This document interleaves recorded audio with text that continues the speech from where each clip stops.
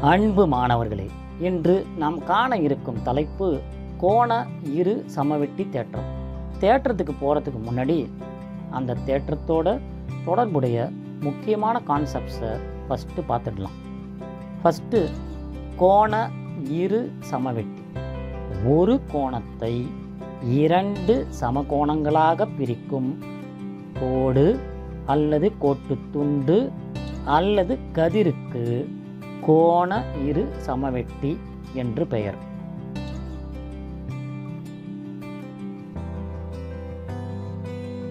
அடுத்ததா நாம் பார்க்க போகிறது குறுக்கு வெட்டிகள் இரு இணை கோடுகளை ஒரு குறுக்கு வெட்டி சந்திக்கும் போது ஏற்படும் ஒன்றுவிட்ட கோணங்கள் சமம்.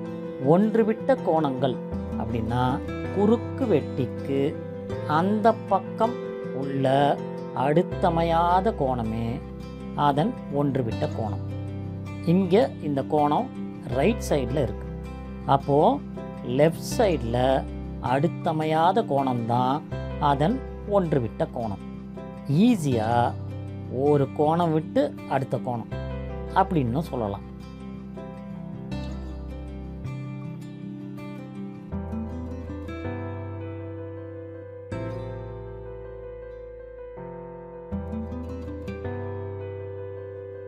இதை ஞாபகம் வச்சுக்க லெட்டர் இசட்டு தான் ஷார்ட்கட் இந்த இசட்டுக்கு உள்ளே இருக்கிற கோணங்கள் ஒன்று விட்ட கோணங்கள்.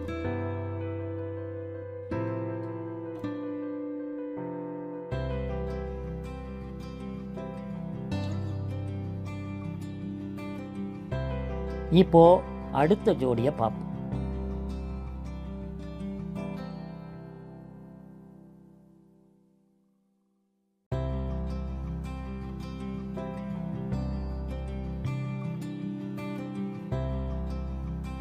இங்கே இசட் பேக் சைட்லேயும் இருக்கலாம்.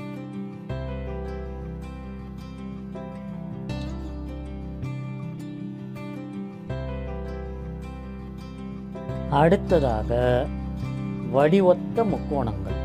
இரு முக்கோணங்கள் ஒத்த வடிவமும் மாறுபட்ட அளவுகளும் கொண்டிருந்தால் அவை வடிவொத்த முக்கோணங்கள் அப்படின்னு சொல்கிறோம் இங்கே வடிவம்னு சொன்னால் அது கோணங்களை குறிக்கும். அப்போது ஒத்த கோணங்கள் சமமாகவும்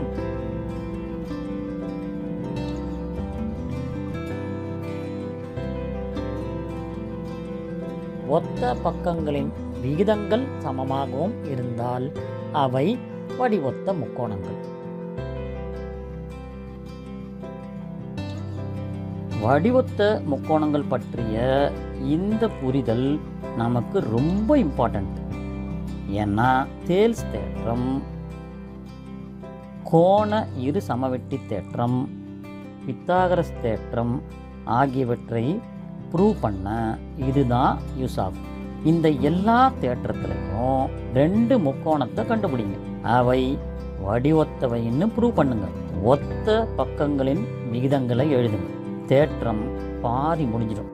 கடைசியாக இரு சமபக்க முக்கோணம். இரண்டு சம பக்கங்களை கொண்ட முக்கோணம்தான் இரு சமபக்க முக்கோணம். அந்த இரண்டு சம பக்கங்களுக்கு எதிரே உள்ள கோணங்களும் சமம். இந்த நீளங்களை நான் அட்ஜஸ்ட் பண்ணாலும் கோணங்கள் சமமாக தான் இருக்குது.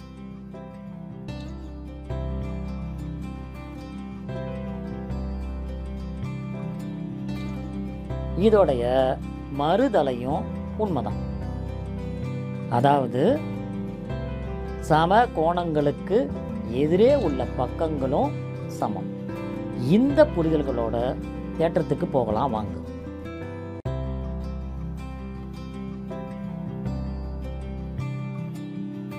ஒரு முக்கோணத்தின் ஒரு கோணத்தின் உட்புற சமவெட்டி. இதுதான் நமக்கு கொடுக்கப்பட்டவை. மீதி ஃபுல்லாக இருக்கிறது நிரூபிக்க வேண்டியது. அப்போ ஏபிசி ஒரு முக்கோணம்.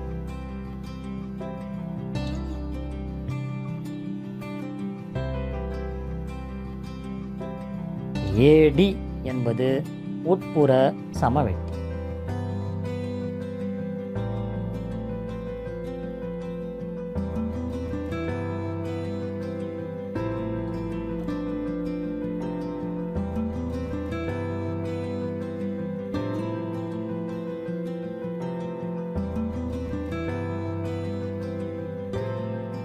என்ன நிரூபிக்கணும்?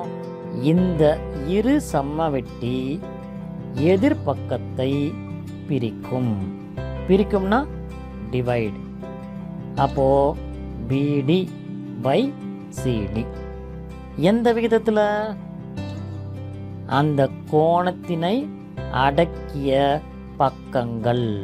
அப்போ ஏபி பை ஏசி இந்த விகிதங்களை எழுதும்போது கேர்ஃபுல்லாக எழுதணும். தொகுதியில் ஏபின்னா பக்கத்தில் தொகுதியிலையும் பிடி வரணும். அதாவது லெட்டர் பி இருக்கணும். அதே மாதிரி ஏசின்னா சிடி லெட்டர் சியை ஞாபகம் வச்சுக்கணும்.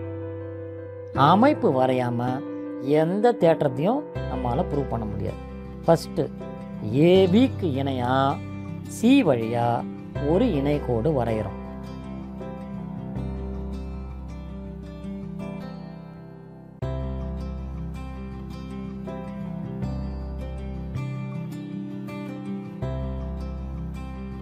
எக்ஸ்டெண்ட் பண்ணி அந்த இணை கோட்டை ஈல சந்திக்கிறோம். கோணம் ஏஇசியும் கோணம் பிஏஇயும் சமம்.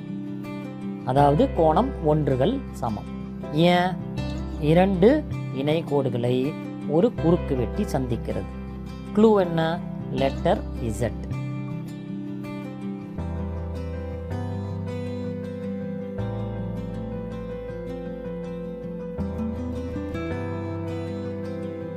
அதே மாதிரி கோணம் ஏபிசியும் கோணம் பிசிஇயும் e சமம். ஏன்? அதே காரணம்தான். இங்க backward Z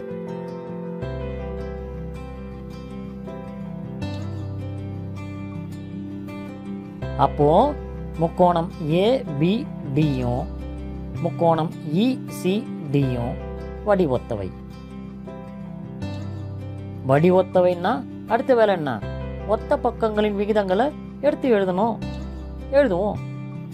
AB by CE சமம். பிடி பை சிடி விகிதங்களை எழுதும்போது முக்கோணத்தின் இரண்டு பக்கங்களை எடுத்துங்க. அந்த மூன்றாவது பக்கமான கோண இரசமவட்டி நமக்கு தேவையில்லை. இங்கே எழுதும் போதும் லெட்டர் பி லெட்டர் சியை பார்த்து எழுதுங்க. முக்கோணம் ஏசிஇல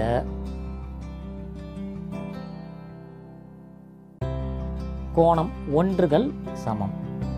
அப்போ இது ஒரு இருசம பக்கம் முக்கோணம். கோணங்கள் சமமாக இருந்தால் எதிரே உள்ள பக்கங்களும் சமமாக தான் இருக்கும். அப்போது ஏசியும் சிஇயும் சமம்.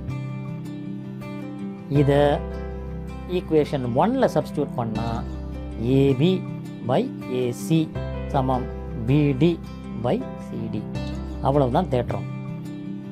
எப்போதும் மறக்காதீங்க. மூன்று தேற்றத்துக்கும் வடிவத்த முக்கோணங்கள் தான் சீக்ரெட் மீண்டும் இன்னொரு பதிவில் சந்திப்போம். நன்றி மாணவர்களே.